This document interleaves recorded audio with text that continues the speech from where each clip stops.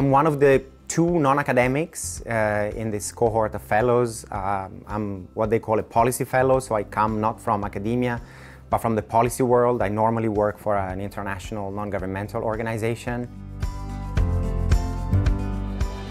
I came here mostly because I wanted to step back, step back from the hustle and bustle of my everyday work. Not that academics don't have you know, busy lives, but when you work on policy and policy advocacy, there's a kind of uh, urgency and speed to the work that we do that often means you don't get the time to really stop and reflect and zoom out, think of the big picture, read in terms of you know catching up on the latest uh, literature on the topics that you work on.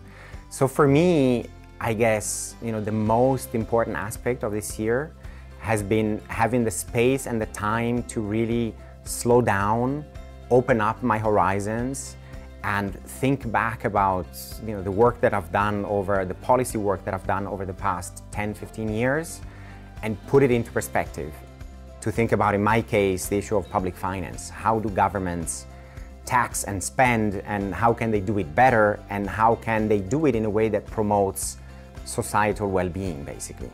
Uh, so stopping, slowing down, zooming out, think about the big picture, and then thinking about the big picture by looking at it from lots of different perspectives. So having you know 40 people around me every day None of them really think about public finance, but all of them come from disciplines that tackle issues, problems, questions that you can think about in, in public finance terms.